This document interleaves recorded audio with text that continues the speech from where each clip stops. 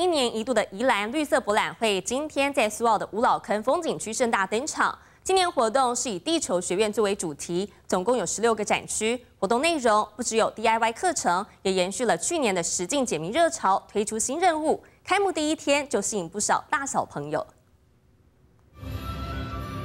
乐手在舞台上奏出动人旋律，表演者在前方随着乐声舞动。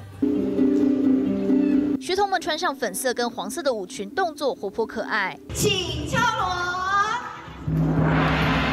锣声响起，二零二四宜兰绿色博览会正式开跑。今年活动从三十号开始，第一天就吸引大朋友带小朋友到场参观。这边好玩吗？好玩，我们等一下要去练滑梯嘞，有滑梯啊，真的很棒。今年绿博以地球学院为主题，在苏澳五老坑风景区设有十六个展区，汇集各领域关于永续的倡议跟实践。我们有十六个展区，我们两个游戏区结合了三 G、五 G、AI、人工智慧，那永续的发展。那今年呢，呃，希望大家的共襄盛举，了解呢。啊，生态的保育环境。现场还设有游戏体验设施、物理奇幻游乐场，以及上千场 DIY 手作跟教学体验课程，也延续去年大受好评的实境解谜热潮，推出全新解谜任务，各种丰富活动一路到五月十二号，邀请民众参与，从玩乐中学习永续概念。